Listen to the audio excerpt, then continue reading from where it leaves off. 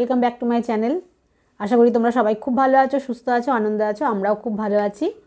আর আজকে লাঞ্চে আমি খাচ্ছি সাদা ভাত, ডিমের অমলেট এখানে রয়েছে গাজর, শসা, পেঁয়াজ, আর এখানে চিকেনের লাল লাল ঝোল, আর এখানে রয়েছে জল।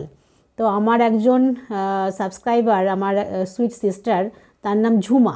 তো ও আমাকে রিকোয়েস্ট করেছিল যে, দিদি, তুমি চিকেনের লাল লাল ঝোল করে ইটিংটা করো। তো ওরই আজকে রিকোয়েস্টের এই ভিডিওটা তো ঝুমা, আশা করি তুমি এই ভিডিওটা দেখবে আর আশা করি তোমার ভালো লাগবে। অবশ্যই করে কিন্তু আমাকে কমেন্টসে জানিও।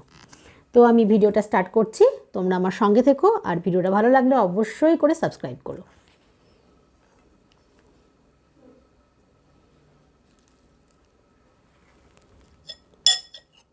আজ প্রচণ্ড ঠান্ডা লাগছে। স্নান করে উঠে আমি আগে সোয়েটারটা পরে নিয়েছি।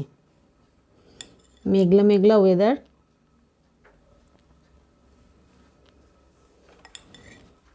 চিকেনের ঝোলটা দেখো কতটা লাল লাল হয়েছে।